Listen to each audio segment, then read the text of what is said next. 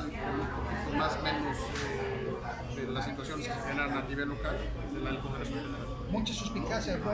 realmente en torno a esto. Este, lógicamente pues, está la tentación latente. ¿no? Los tiempos que se dieron no son los tiempos naturales de una propaganda. Y sobre todo que se ve lo que se dijo desde el principio, si, el, si el, el, resultado electoral no les era favorable, pues sí, desapareciera la gran La tentación puede estar, tienen los, los, los elementos o los mecanismos para llevar a cabo. ¿Rescatarán la gran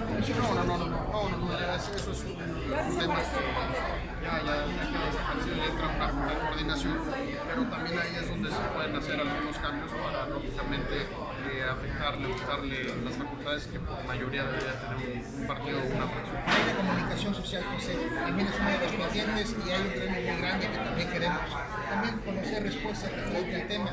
¿Podrá quedar para esta siguiente legislatura ese tema o todavía habría más que platicar? Yo creo que el trabajo ya se había hecho en su momento, creo que había dos, dos eh, diferentes puntos de vista, pero todo se puede complementar. Yo lo que te digo, eh, y lo que siempre he dicho es de que tiene que existir un equilibrio en la promulgación de las leyes para que no, no se genere una, una situación que, que genere desgobierno finalmente la regularización de propiedades para poder en esos asentamientos irregulares. Tenemos conocimiento que hay un polígono que ya la multa llega a más de mil, casi mil millones de pesos. ¿Qué pasa con eso? Es impagable Ahí eh, creo que es importante que la Fiscalía también tiene facultades para intervenir en ese tipo de cosas. Y hay un, hay un artículo del Código Penal que establece o tipifica como delito vender como se están vendiendo el problema que se está generando tengamos cinturones de miseria alrededor de la ciudad provocada por, en este caso muchos son los los que deciden de, de, no, no, no notificar y vender como en breña, cuando no tienen ni servicios, los servicios básicos de luz, de agua, y ahí empieza a generarse la problemática. Pepe, discúlpame, mencionaste un tema de fiscalía, siguen sin recursos, le siguen dejando sin nada a, este, a esta persona, al final de cuentas pusieron a modo ahí, está bien pusieron, siguen sin dar el recurso. ¿Qué pasa en el Congreso? ¿Por qué no firma o realmente no hay el dinero? Sé que en este periodo extraordinario se van a tocar temas concernientes a la fiscalía.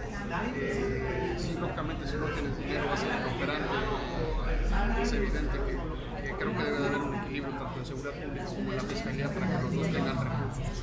Uno es preventivo y el otro es, eh, más que operativo, es investigador. Entonces creo que ahí es donde tiene que haber un, equilibrio en el tema de los recursos para que los dos sean funcionarios ahorita no se puede Nosotros aprobamos un recurso importante, eh, hay que analizar cuáles son las necesidades del fiscal creo que son los, los puntos orales donde no podemos generar algún tipo de conflicto político. Yo siempre he dicho que la seguridad no puede politizarse, al contrario, tenemos que la Pero el fiscal ya ha comparecido, o sea, ya saben cuáles son sus necesidades. Sí, y prácticamente son del mismo grupo político, ¿no? A mí eh, sí se me, me, llama la atención el que no le den las herramientas para que pueda trabajar así. Pues, creo que es oral el trabajo de la fiscalía porque son los que ponen a disposición a y si no tienen tus elementos, que ahorita no vas a funcionar. ¿Buscarían reforzar ese presupuesto en la siguiente claro, legislatura? Es una de las prioridades el tema de seguridad de los Oye, Pepe, ¿sabes qué? ¿Cuántos este, temas están pendientes hoy o qué candados se quedan a